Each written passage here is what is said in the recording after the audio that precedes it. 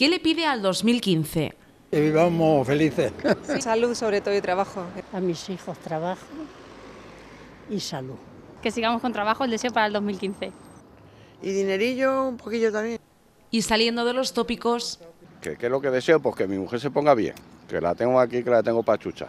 Y poder pagar la hipoteca y todas esas cosas. Trabajar, sobre todo trabajo. Que tengamos lo suficiente para hacer algún viajecillo.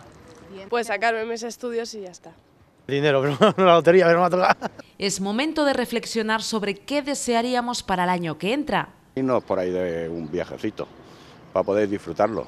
Sí, me gustaría, me gustaría poder hacer un viaje, eso sí. Un nuevo calendario con nuevas oportunidades para cumplir metas y sueños pendientes. Pues nada, ya con la... Deja de fumar que soy poco a poco, dejándolo. Así que a ver si ya para el 2015 ya lo dejo de un tirón. La mía, yo no mismo ninguno. No fumo, no, el único de gimnasio no me gusta.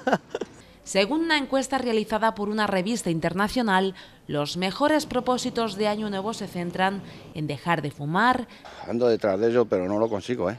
aprender algo nuevo, comer sano, saldar deudas, ahorrar, viajar, estresarnos menos o beber menos alcohol.